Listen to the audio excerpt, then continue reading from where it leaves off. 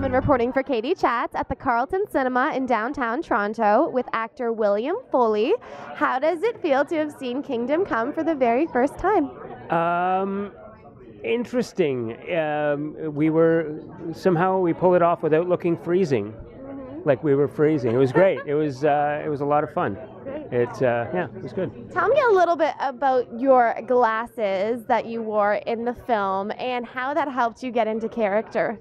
Uh, well, the glasses were pretty much the character uh, of Charles Monroe. I actually bought them about an hour before the audition, and I think that's probably what scored the role for me. Uh, they were. Uh, you just pull them out in an extremely creepy fashion and put them on. And, And when you immediately put them on, do you feel that sense of eeriness, creepiness?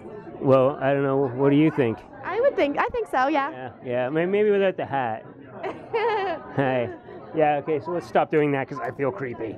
Now, obviously, this character is very far from who you are as an individual. What was your process like in terms of understanding the character and get, sort of getting into character?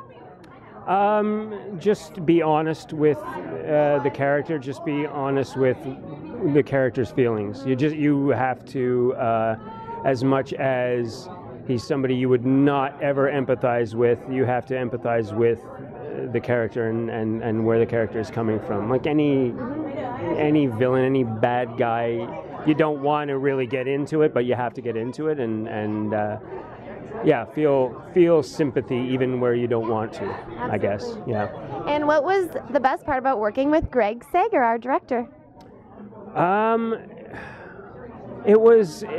I think uh, the, the thing that always sticks in my head about working with Greg was uh, him letting us uh, explore the room in the first group scene where we all met. I think that was something that really. Uh, helped me. He he just he he had us all the the core characters go into this large room and just say, okay, find a place in this room where your character would end up. And I thought that was a really interesting interesting choice because it allowed us to do just that, and it sort of helps helps place the character, and it's an establishing shot, so you want to see where that person would take their position or hide, you know, and those sorts of things. So that was that's something that always stuck. He was very giving in that way. So yeah. Well, thank you so much. Congratulations on a terrific performance, and best of luck. With, thank you. Best of luck with your upcoming projects and with credible tro- photography as well. Well, thank you very much. You're not going to hit me with that, are you? Because uh, yeah, Do you feel like I am? I I feel like like anytime you're holding something, you might want to hit me with it, Maybe. and I don't blame you.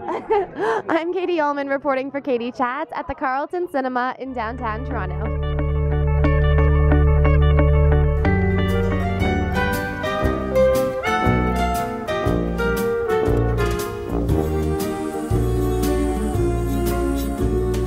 You've got a friend in me.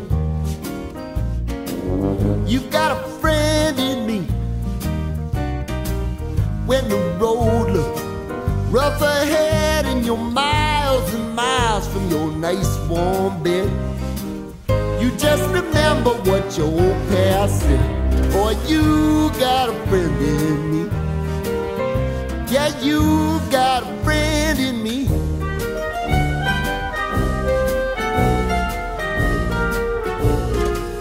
You got a friend in me.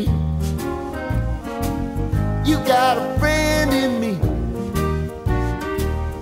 got trouble, and I got them too. There isn't anything I wouldn't do for you. We stick together, see it through, cause you got a friend in me. You got a friend in me. Now, Some other folks might be a little bit smarter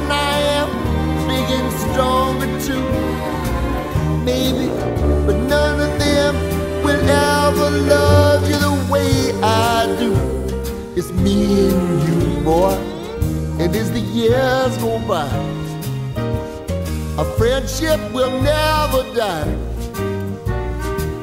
You're gonna see it's our destiny. You got a friend in me. You got a friend in me.